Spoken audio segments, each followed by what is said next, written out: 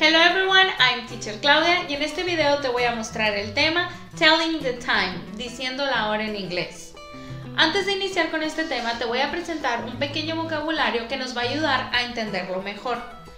Te voy a mostrar cada una de las frases o palabras con un ejemplo para que sea un poquito más entendible. We are going to start with, vamos a iniciar con What time is it? What time is it? ¿Qué horas son? ¿O qué hora es? To. Para. For example, por ejemplo, it's 5 to 8. Son 5 para las 8. Seguimos con past, pasadas. For example, it's 10 past 8. Son 10 pasadas las 8. Seguimos con o'clock. O'clock significa en punto. For example, por ejemplo, it's 8 o'clock. Son las 8 en punto. A quarter to, un cuarto para. For example, por ejemplo, it's a quarter to three. Es un cuarto para las 3. Seguimos con a quarter past, un cuarto pasadas. For example, por ejemplo, it's a quarter past four. Es un cuarto pasadas las cuatro. And the last one, y por último, half. It's half past eight. Son las ocho y media. Half significa mitad, pero como lo estamos usando hablando de tiempo, quiere decir media hora. Ahora que ya tenemos este pequeño vocabulario, se nos va a hacer sencillo el resto de la explicación. Ahorita te vas a dar cuenta. Vamos a iniciar con la pregunta What time is it? What time is it? ¿Qué hora es? ¿O qué horas son? En español, la respuesta siempre nosotros decimos son o es para referirnos a una hora. En inglés siempre vamos a iniciar esa respuesta con it's. It's se traduce como son o es. Aquí te voy a presentar dos ejemplos para que se te haga más sencillo. Example number one. It's 11 o'clock. Son las 11 en punto. Example number two. It's 1 o'clock. Es la 1 en punto.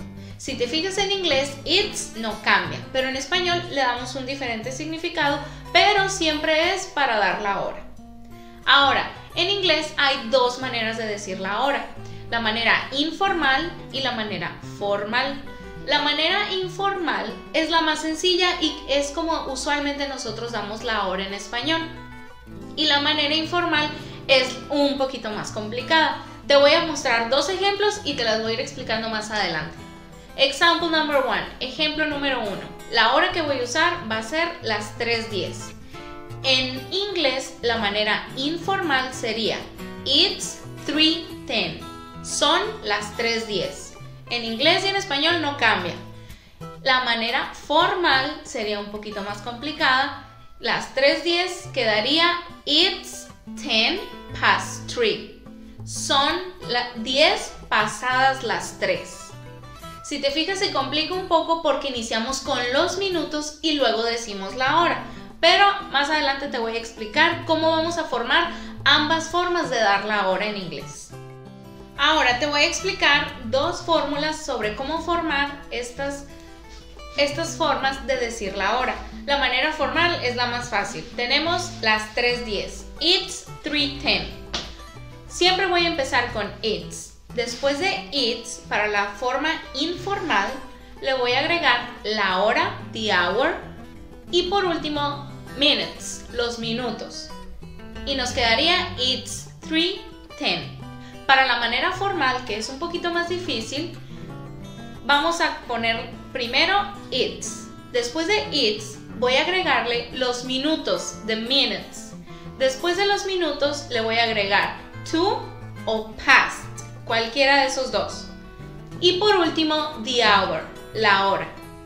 Las 3.10 quedaría it's 10 past 3. Son 10 pasadas las 3. Ahora, What is the difference? ¿Cuál es la diferencia entre past and to? ¿Cuándo voy a usar past y cuándo voy a usar to? Aquí te voy a explicar. Tenemos aquí este reloj, lo dividí a la mitad para que fuera un poquito mejor entendible.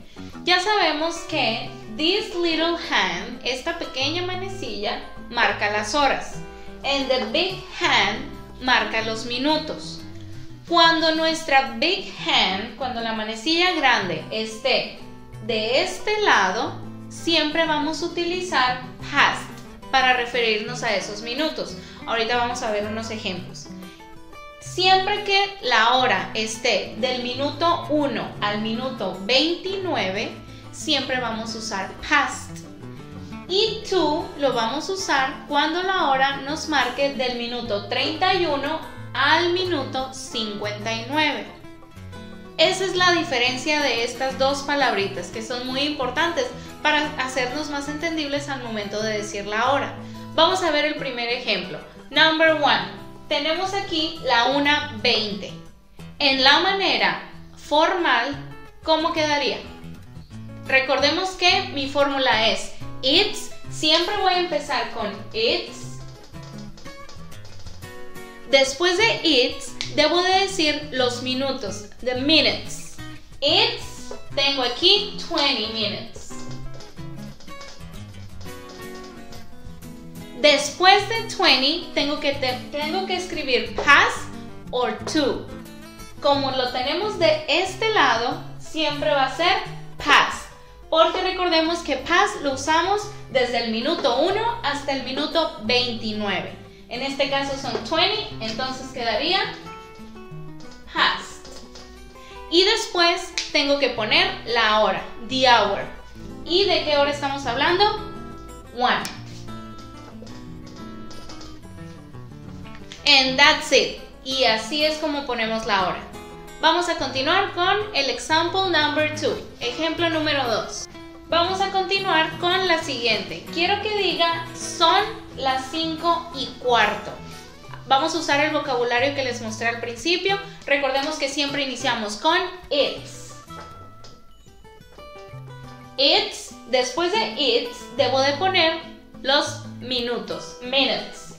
Como son 15, en lugar de 15 y queremos hablar un poquito más formal, vamos a usar a quarter.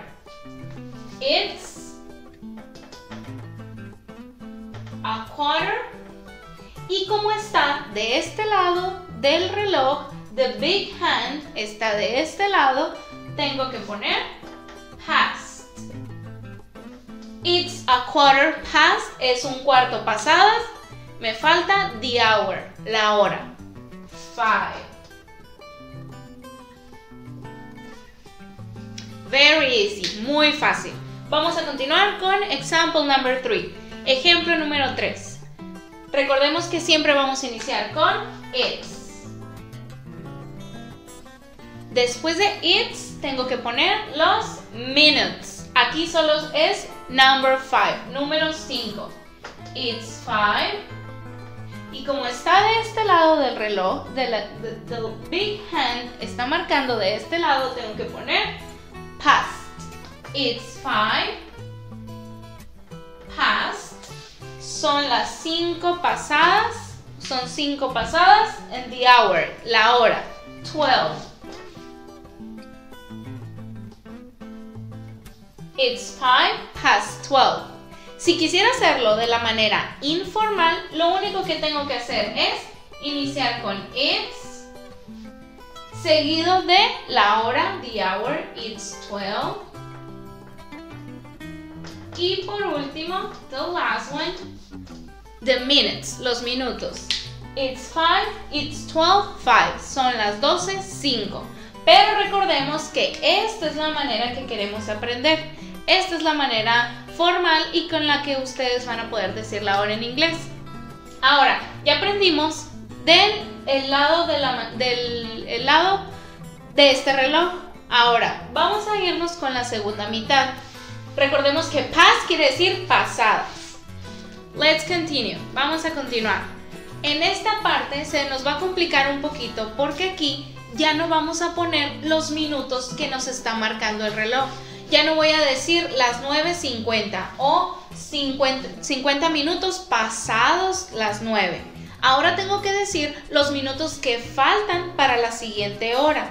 Por ejemplo, tengo aquí las 9.50. It's 9.50 de manera informal. Pero de la manera formal, recordemos que siempre iniciamos con it's. It's. Ahora, tengo que poner yo los minutos que me faltan para la siguiente hora. Porque recordemos que the, Big Hand, la manecilla grande, ya está de este lado y ya se está acercando más a las 12, al, cambio de hora. Entonces, ¿cuántos minutos me hacen falta para las 10? 10. It's 10. Y recordemos que to significa para. Son 10 para. It's 10 to. Y nada más tenemos que poner la hora que sigue de las 9. It's 10 to 10. Son 10 para las 10. Esto se complica un poquito más porque tenemos que irnos acercando más a la hora, decir los minutos que hacen falta. Este es un poquito más fácil porque nada más decimos cuántos minutos ya pasaron. Pero vamos a tratar de hacerlo más sencillo. Ahora, it's 7:45 sería la manera informal. Quiero que diga yo en inglés, falta un cuarto para las 8. Tendríamos que iniciar siempre con it's. It's. Después de it's, tengo que poner los minutos que me hacen falta. It's a quarter, porque queremos que sea formal. It's a quarter to eight. Es un cuarto para las 8. Se está poniendo un poquito más complicado, pero ya tenemos el vocabulario anterior, eso es lo que nos lo está facilitando. Después tenemos una un poquito más difícil. ¿Por qué? Porque faltan muchos minutos. Estamos en el minuto 35 y recordemos que del 31 al 59 vamos a utilizar to. Entonces, it's 3.35. Son las 3.35. Quedaría en la manera formal de la siguiente forma. It's ¿Cuántos minutos me hacen falta para llegar a las 4? 25. It's 25 to son 25 para las 4. 2, 4. It's 25 to 4. Está muy sencillo, nada más hay que tener un poquito más de agilidad matemática para saber las para saber los minutos que hacen falta para llegar a la hora. Ahora, ¿qué pasa cuando queremos decir una media hora? Cuando the big hand, cuando la manecilla grande esté marcando en el 6 y sea la media hora exacta. Siempre voy a decir half past. Half, recordemos que quiere decir mitad, pero como estamos hablando de tiempo, se traduce como media hora. Entonces, por, por ejemplo, for example, quiero decir la hora las 2.30. It's 2.30 sería en la manera informal. De la manera formal quedaría de la siguiente manera. It's half past 2. Es media hora pasadas las 2. Nunca voy a usar con media hora to. Nunca voy a decir falta media hora para las 3, por ejemplo. Siempre es half past, pasada la media hora. Para que sea un poquito más sencillo, en la explicación anterior te dejo esta imagen en donde vas a poder encontrar las diferentes formas de decir la hora cuando the big hand, cuando la manecilla grande esté en diferentes puntos del reloj. Aquí te la muestro. Telling the time diciendo la hora en inglés. O'clock, en punto. It's five past, son cinco minutos pasadas. It's ten past, son diez minutos pasadas. It's a quarter past, es un cuarto pasadas. It's twenty past, son veinte minutos pasadas. It's 25 past. Son 25 minutos pasadas. It's half past. Es media hora pasada. It's 25 to. Son 25 minutos para. It's 22. Son 20 minutos para. It's a quarter to. Es un cuarto para. It's 10 to. Son 10 minutos para. It's 5 to. Son 5 minutos para. Una nota muy importante de este tema cuando queremos decir la hora es que siempre vamos a usar it's, como te dije a lo largo de este video, para decir la hora, pero cuando nos las preguntan en ese momento exacto, cuando nos dicen what time is it, qué hora es, qué horas son, siempre vamos a iniciar con it's y la manera ya sea formal o informal que tú prefieras decir. Pero cuando nos están preguntando la hora específica en la que va a ocurrir un evento, vamos a utilizar at después seguido de la hora. Supongamos que, example number one, ejemplo número uno, quiero decir la hora it's 3.40, pero de la manera formal me la preguntaron, what time is it? It's 20 to 4. Son 20 para las 4. Ahora, si quiero decir una hora exacta de un evento, por ejemplo, si ese evento va a ser a las 5 en punto, 5 o'clock, tengo que poner at sumado de la hora. Por ejemplo, the class starts at 5 o'clock. La clase inicia a las 5 en punto. Por último, te voy a dejar un pequeño ejercicio en el que tú vas a tener que poner la hora de manera formal, así como vimos a lo largo de este video. Puedes ponerle pausa porque al final te voy a dar yo las respuestas y al final puedes comparar mis respuestas con las tuyas. What time is it? ¿Qué hora es? Escribe en tu cuaderno la hora eh, de manera formal de los siguientes relojes. Pausa el video porque a continuación te voy a mostrar las respuestas y puedas compararlas.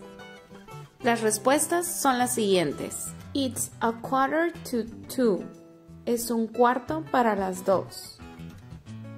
It's 25 past six. Son 25 pasadas las 6. It's 25 to 10. Son 25 para las 10. It's half past 3. Es media hora pasadas las 3. Espero que este video te haya ayudado y puedas practicar en casa. Te voy a dejar una pequeña tarea, a little bit of homework. What time is it? Ponme en los comentarios what time is it, qué hora es, de la manera formal. De la manera informal sería it's 5:34, son las 5:34. Pero escríbeme tú en los comentarios cómo quedaría de la manera formal, así como lo vimos en este video. See you later.